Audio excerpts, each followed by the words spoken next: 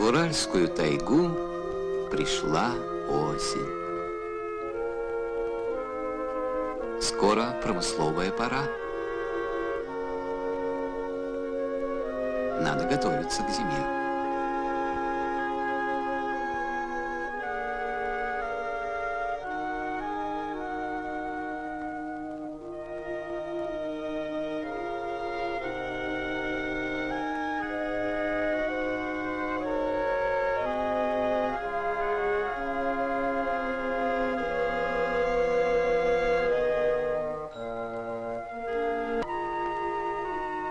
Это, как говорили в старину, на охотничью удачу.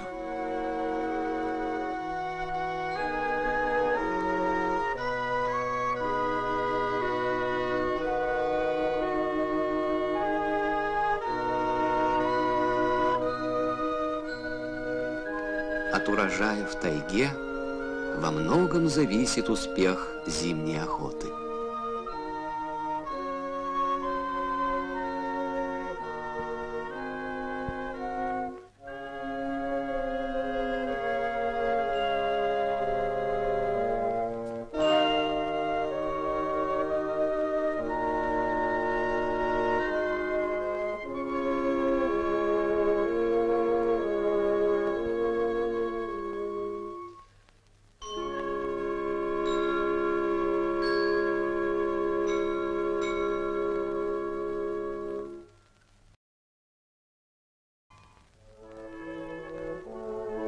Но он торопит охотников плыть к своим далеким зимовьям.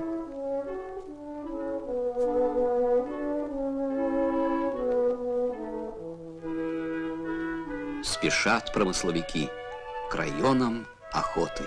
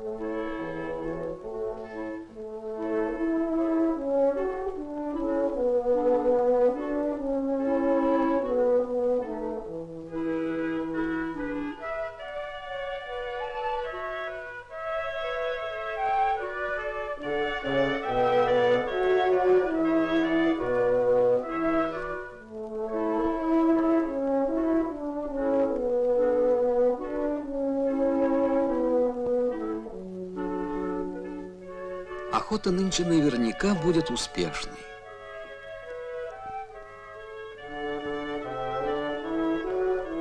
Вдоволь шишек для белки.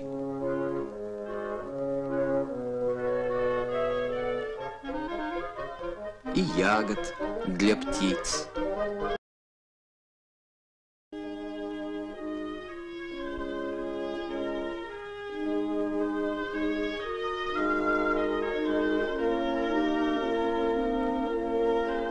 Пришло время основных забот и для охотника.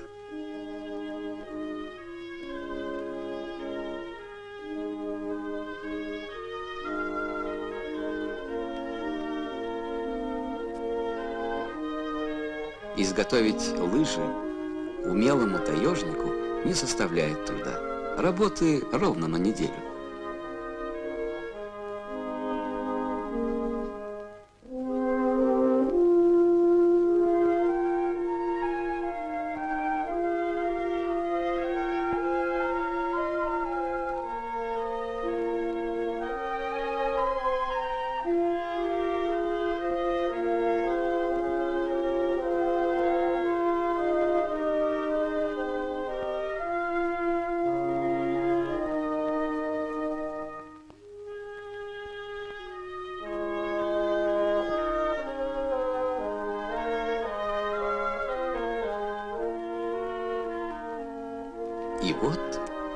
Первая разведка в таежный мир.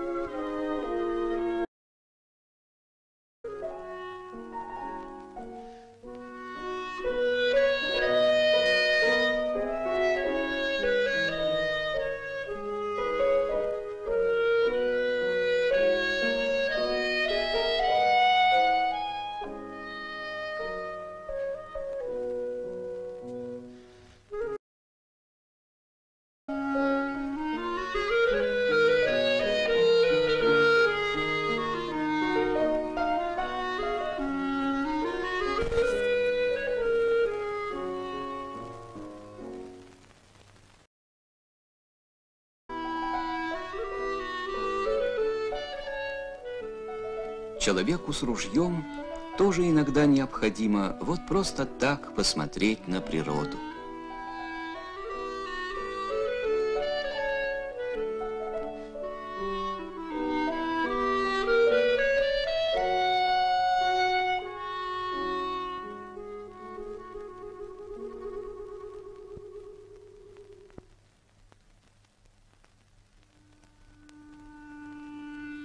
Такие наблюдения помогают охотнику лучше разбираться в таинствах лесной жизни, в сложной азбуке следов.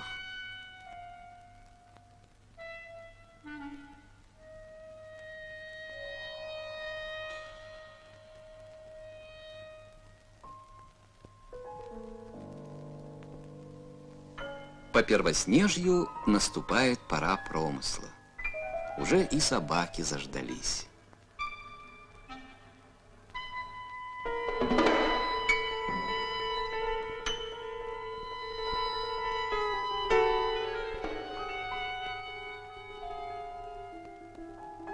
Когда нужен зоркий глаз и чуткий слух, тут человек полностью полагается на собаку.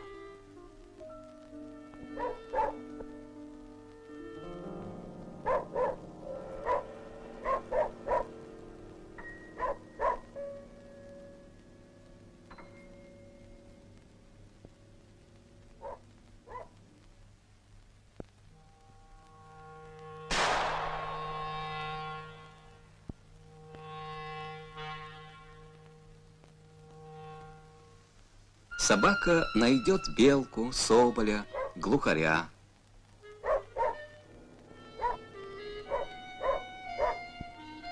Предупредит о приближении зверя.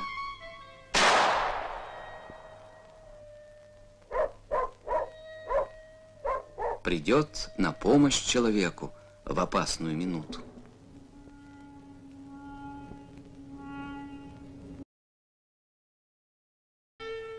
Опасная минута может наступить совсем неожиданно. Внимание, здесь недавно прошел медведь-шатун.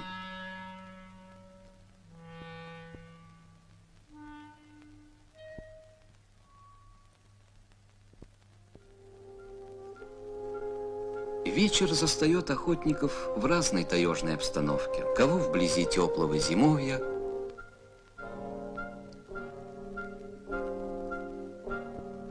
а кого просто среди леса, возле костра.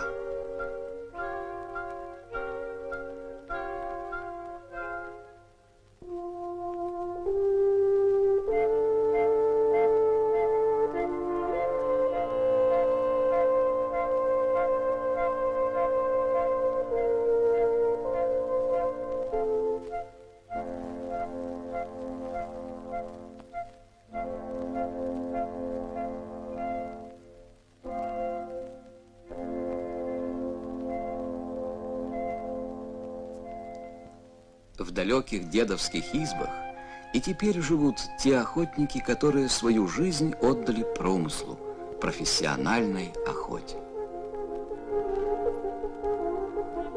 И как приятно им после доброй добычи отдохнуть в тепле зимовья.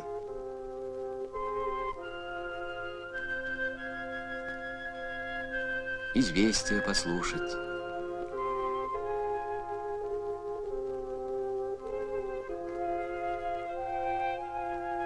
вспомнить о былых временах.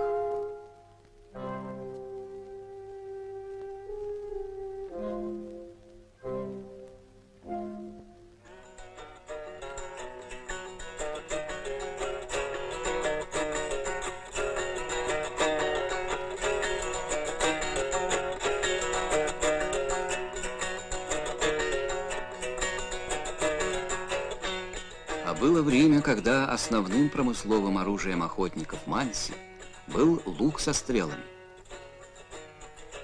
Отдельно на утку, на медведя и лося, на белку и боровую дичь. Ушли те времена.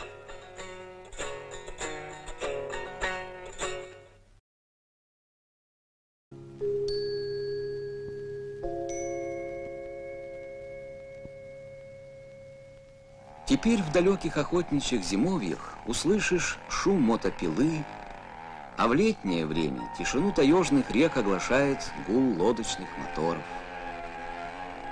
На смену луку со стрелами пришло промысловое нарезное оружие. Охотникам не надо беспокоиться о сдаче пушнины. Для сбора ее приезжают к ним опытные специалисты-охотоведы.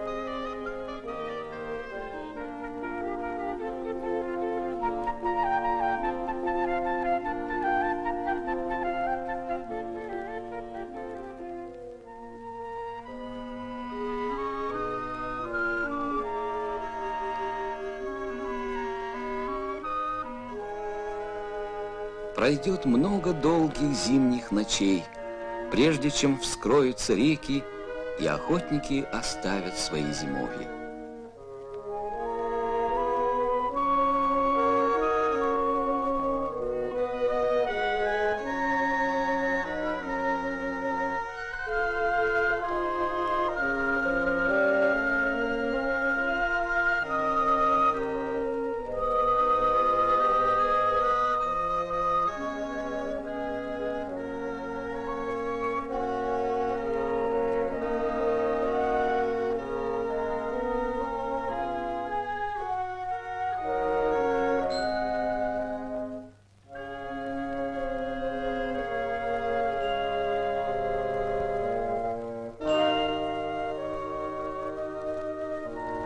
А пока до весны еще далеко. Еще быть большой охоте.